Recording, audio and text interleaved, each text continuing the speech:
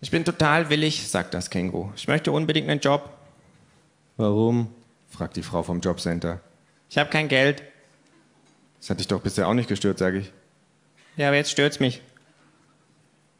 Haben Sie denn schon mal eine feste Arbeitsstelle gehabt? fragt die Frau gelangweilt. Eine? fragt das Känguru. Tausende. Ich stand schon in einer riesigen Erdbeere und habe Erdbeeren gegessen.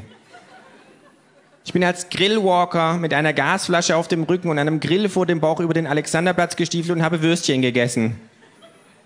Ich habe in einem schönen Sommer viele Konzerte in der Wuhlheide angeguckt, mit einem Fass auf dem Rücken, an dem ein Schlauch dran war, und daraus habe ich Bier getrunken. Gute Jobs eigentlich. Ich habe es aber leider nie über die Probezeit geschafft. Ich wünschte, ich wäre tot, sagt die Frau. Wie bitte? fragt das Känguru. Erzählen Sie ruhig weiter, sagt die Frau. Haben Sie irgendwelche Wunschvorstellungen? Äh, also, ich könnte mir gut vorstellen, mich hinter eine Theke zu stellen und Schnaps zu trinken, sagt das Känguru. Referenzen? Ja, von meinem letzten Arbeitgeber habe ich ein Arbeitszeugnis bekommen, auf das ich wirklich stolz bin. So? fragt die Frau und seufzt. Zeigen Sie mal. Das Känguru kramt in seinem Beutel. Auf dem Schreibtisch klingelt das Telefon. Die Frau nimmt ab. Ja, fragt sie. Aha. Ja. Ja. Aha. Ja, sagt sie und beginnt sich dabei den Hörer gegen die Stirn zu schlagen. Aha. Ja. Ja. Das Känguru blickt mich besorgt an. Ich zucke ratlos mit den Schultern. Ja, wird gemacht, sagt die Frau und legt auf. Einige Sekunden blickt sie ins Leere. Äh, hier ist das Zeugnis, sagt das Känguru und reicht ihr ein Papier. Danke, sagt die Frau. Aber Obacht, sagt das Känguru. Das liest sich positiver, als es gemeint ist. Die benutzen da immer so einen Kapitalistengeheimcode. Die Frau liest laut vor.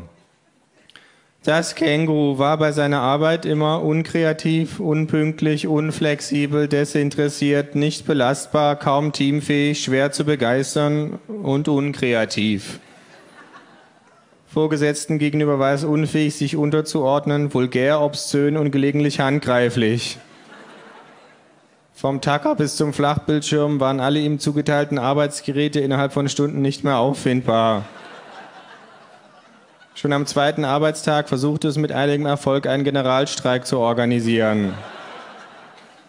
Die Firma sah sich gezwungen, nach neun Tagen eine fristlose Kündigung auszusprechen. Zu diesem Zeitpunkt war das Känguru allerdings schon mehrere Tage nicht mehr an seinem Arbeitsplatz erschienen. Die Frau lässt ihr Zeugnis sinken. Was daran liest sich positiver, als es gemeint ist? Nächster Satz, sagt das Känguru. Sie liest. In den fünf Tagen, die es tatsächlich bei uns gearbeitet hat, hatte es allerdings durch seine Geselligkeit zur Verbesserung des Betriebsklimas beigetragen. Hä? frage ich verwundert. Es ist ein Code für übertriebenen Alkoholkonsum, sagt die Frau. Du hast gesoffen auf Arbeit, frage ich. Ich kann das verstehen, sagt die Frau und holt einen Flachmann aus ihrer Schublade.